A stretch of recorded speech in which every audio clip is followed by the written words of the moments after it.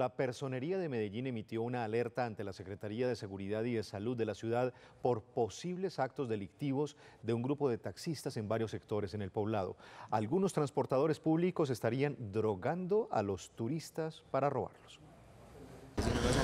Según la personería de Medellín, algunos taxistas en los sectores de Provenza y El Lleras están robando a turistas con escopolamina. El Ministerio Público ya tiene en sus registros una decena de estas denuncias, al igual que alteraciones ilegales de los precios de las carreras por parte de taxistas en la misma zona de la ciudad. Ellos eh, entran al taxi, sienten como alguna clase como de de situación extraña donde no se sienten seguros y de un momento a otro empiezan a sentir el cuerpo eh, como entumido o como con cosquilleo. Muchos de ellos han optado y nos han contado que han optado por tirarse del vehículo. Usualmente al que escopolaminan es porque lo están intentando hurtar.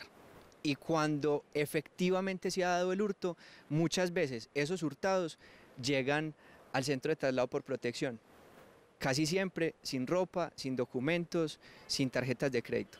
El gremio de taxistas considera que esto debe ser atacado oportunamente por las autoridades. Me sorprende, es nuevo. Si está pasando, me parece que nosotros mismos los del gremio de taxistas debemos actuar y ayudar a frenar a esas personas que están teniendo un mal comportamiento con el oficio. Gente que está recién salida de la cárcel, vienen y encochinan, no encochinan a nosotros los, los viejos que toda la vida hemos trabajado.